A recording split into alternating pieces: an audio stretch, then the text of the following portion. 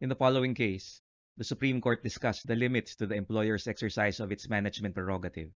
Del Monte Fresh Produce Philippines Inc. versus Del Monte Fresh Supervisors Union.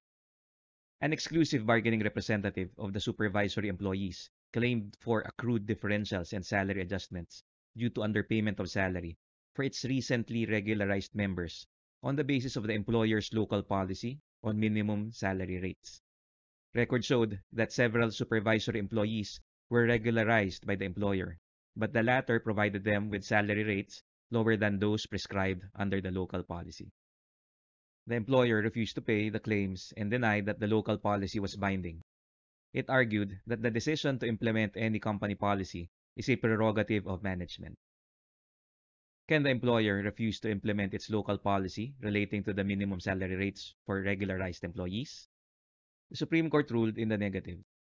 The Supreme Court acknowledged that employers enjoy management prerogative when it comes to the formulation of business policies, including those that affect their employees. However, the court also clarified that company policies resulting from an exercise of management prerogative can implicate the rights and obligations of employees. The court added that they become part of the employment contract to that extent. In the present case, the court interpreted the local policy and found that the employer had the discretion to pay newly hired employees with a salary rate lower than the minimum rate during the probationary period. However, once the probationary period ends, and the employee is regularized, the employer must pay the minimum rate. And entitlement to the minimum rate required mere regularization based solely on performance review without the need of merit promotion. The court ruled that the employer had no discretion over the payment of the minimum rate upon the regularization of an employee.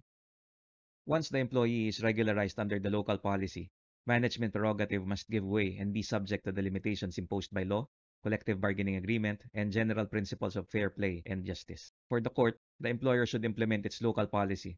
The employees should accordingly be granted their claim for salary differentials.